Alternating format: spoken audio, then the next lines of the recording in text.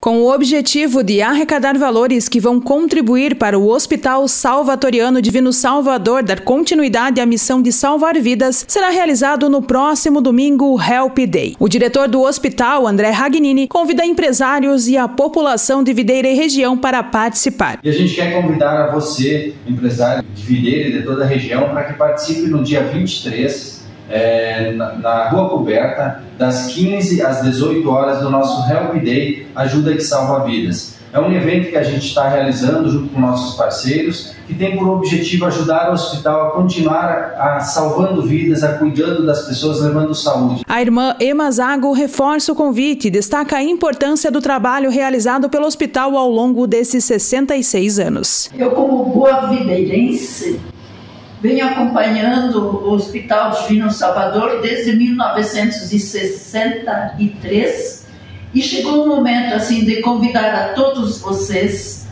que nos ouvem a participar para que o hospital continue construindo, defendendo e promovendo, salvando vidas. Seremos agradecidos por sua colaboração. O evento contará com shows musicais, apresentações artísticas e muito mais. Qualquer quantia será bem-vinda. Os valores arrecadados serão destinados à compra de equipamentos e reformas no hospital.